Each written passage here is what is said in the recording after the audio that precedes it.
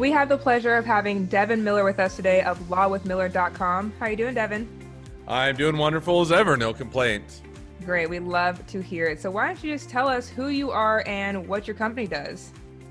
Yeah, so um, obviously Devin Miller. So I founded Miller IP Law, which is a patent and trademark law firm, um, about uh, two and a half, coming up on three years ago. And it's really a law firm that's focused on helping startups and small businesses with patents, trademarks, copyrights, business formations, and those type of things. Basically, what you'll need uh, legally to protect and grow your business. Nice. So a little bit of everything just in a legal form. exactly. Yep. Perfect. And how did you get into that?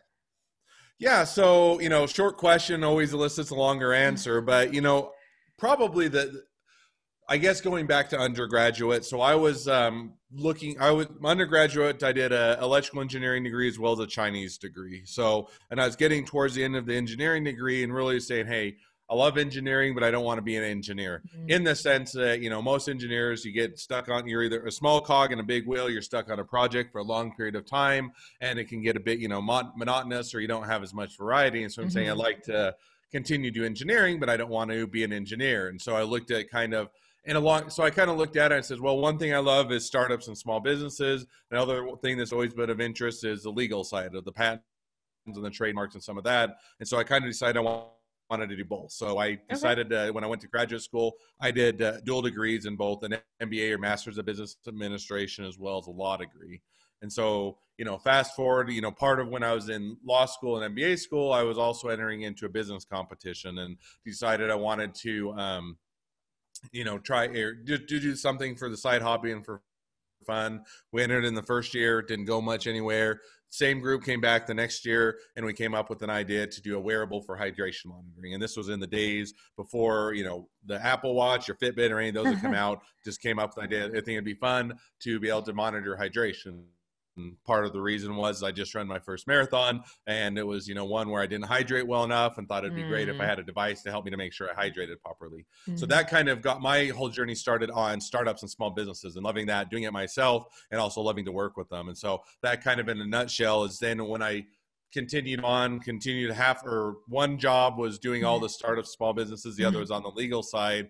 Worked for some of the biggest law firms and did the you know top 100 law firms. Um, worked for clients like Amazon and Intel and um, okay. Ford and others. And decided, hey, the clients I really love is startups and small businesses. That's really where I want to focus on. They're the most fun. You can have the most impact. Yeah. And so when I started my own firm, that's when I when I started Miller IP Law. That's where I put the focus. So longer answer to a shorter question, but that kind of gives a little bit of a backstory as to, to how I got to doing Miller IP law. Definitely a backstory, and it seems like you almost have a now your business is like a combination of personal experiences and then career experience as well. Yep. No, exactly. So, and, and, I said I split my time and attention between a few things. I have Miller IP Law, which is a, certainly a big focus and takes 40 or 50 hours a week. And then the same time, I also have an, uh, other startups I work on that take another 40 or 50 hours a week. So I certainly have a lot of things to juggle along with the wife and four kids and other things that keep me plenty busy and, uh, and uh, keep me out of trouble. Yeah, it's definitely a fulfilled life so far. That's right. good. That's great. So, how do you then create fresh opportunities to best serve your customers? Yeah. So, you know, it's, how do I create opportunities? Well, one thing is we always, we are always looking to connect our customers together. And so far as, you know, a lot of times we have a lot of different clients, you know, we do everything. I, I, do my own podcast and it's much more focused on the journey that inventors take, but we get, I get to meet a whole bunch of different and interesting people. Mm-hmm. So one of the things we do is, you know, as we come across and we meet everything from marriage therapists to angel investors to inventors and startups and small businesses to product development, manufacturing, and kind of list goes on and on. And so as we're always looking for opportunities to help clients, one of the things we'll do is we're always looking to make those connections of how to make sure that, you know, if hey, you can use a software developer and we happen to know mm-hmm. a software developer over here, we'll make those connections. Or hey, you need to do, you know, you're going through a tough time in your marriage because you're working too many hours and you're frustrated. Here's a marriage therapist that we happen to have on the podcast that we can connect you up with. And kind of always making making those connections as a way to help them to grow and to expand their business in addition to making sure that with the legal side that we help them to protect and grow their business with the the patents and trademarks and copyrights and whatnot so it's almost like you have the legal side which can kind of be seen you know stiff and rigid in a way as far as the industry goes but you're really incorporating like you said building those relationships and if someone's struggling in one way the podcast almost gives a way to also have those connections for people as well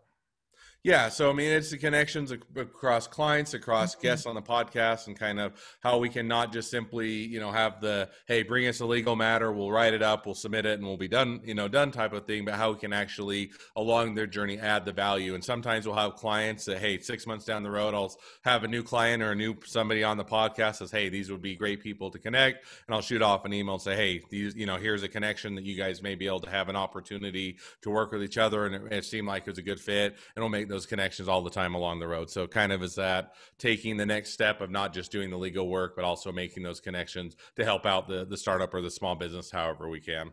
Absolutely. And so then how do you leverage flexibility to continue to think out of the box as your business has been growing?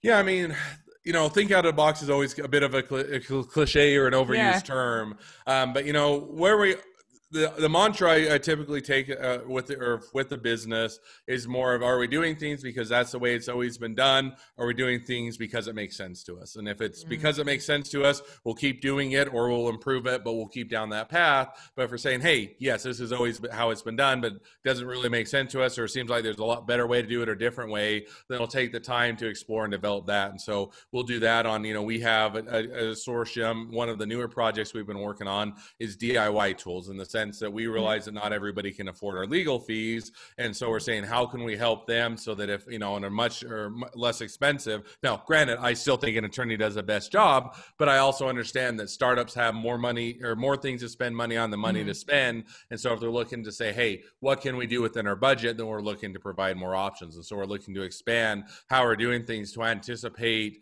you know both what other costs or people that aren't our, our normal clients or current clients how we can expand that reach as far as how we mm-hmm. can also see where things are headed and how we can make sure to anticipate that and offer it to our clients. Right. So it's that kind of the combination of old school and new school. And like, you know, you want to keep the base, the foundation, but then you also want to be able to evolve as well. Yep. No, exactly. Perfect. And so then what would you say makes up your secret sauce that separates you from the rest of the industry?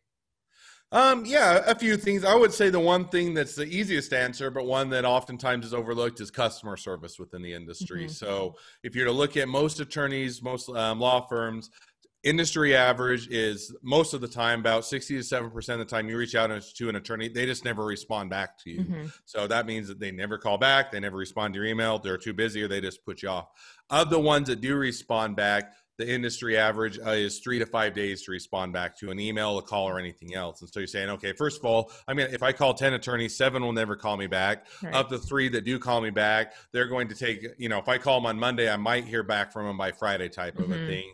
And that one, you know, is first of all, it's a terrible way to run a business and it infuriates people. Hey, if this is something critical, if I need legal help, if there's something that is needing immediate attention, I need that help now. And so we always took the approach of, hey, we have a rule that you know most of the time i'd say 80% of the time we we pick up the phone and respond to the email or mm-hmm. whatever mm-hmm. the communication is right away 90% of the time if we happen to be caught up or we can't respond 90% of the time it's within 30 minutes and 100% of the time our drop dead rule is, is we respond by the end of the day so at most you're going to be waiting till the end of the day to hear from us and most of the time it's right away or within 30 minutes and it seems like it's an easy one to do but that's one of the things that we found more than anything se- separates us and, and helps us to to service the clients that we're, we're trying to help out.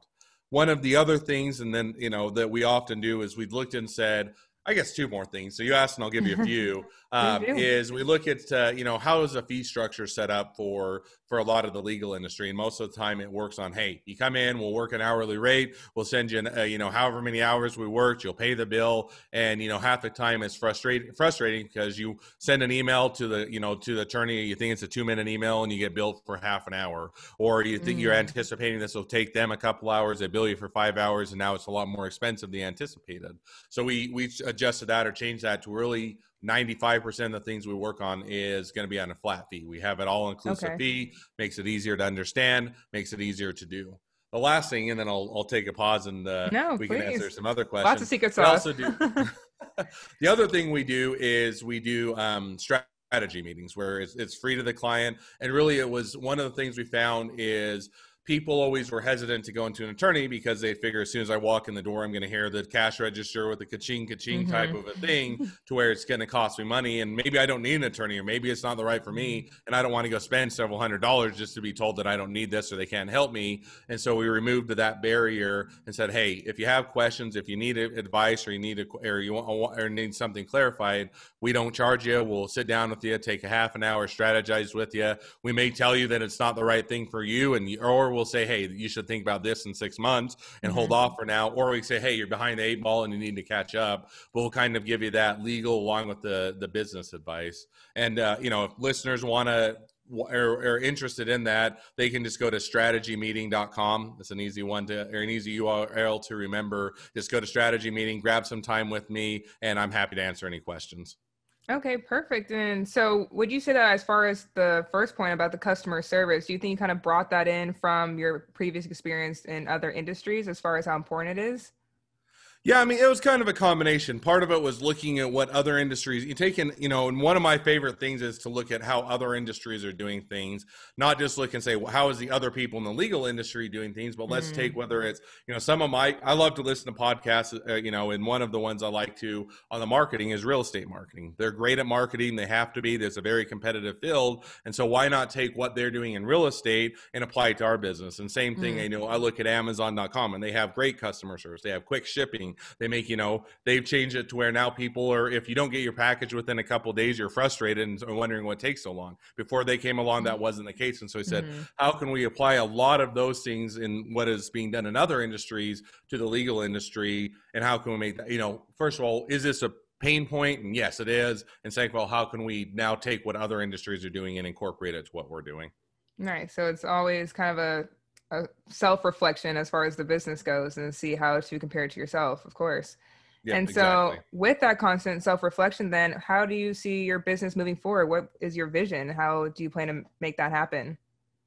Yeah, I mean, in the one sense, it's going to continue on as, as we're doing now. In the sense, we're we're always rolling out new programs we're always looking for ways to help clients start up small businesses. You know we have clients that are bigger we have clients that we service you know help out but really our focus is at startups and small business. So now we're looking every you know every day or every week we are looking for how to what new programs what new things can we do what can we do different first to stay ahead of the competition but not just to stay ahead of the competition for competition's sake but really to make our firm always improving and always better. And that's kind of been our mantra and what we continue to strive to do. And so really it's going to be looking for those opportunities looking for what we can do different improve and then implementing them in order to continue to provide better service and also in order to help grow our, the law firm to continue to be able to service more people. Great. Well, I can't wait to see all that happen for the future for your business. And so you mentioned about the free strategy meetings, where to go. Uh, besides the website, is there anywhere else that people should go to for more information about you or the company?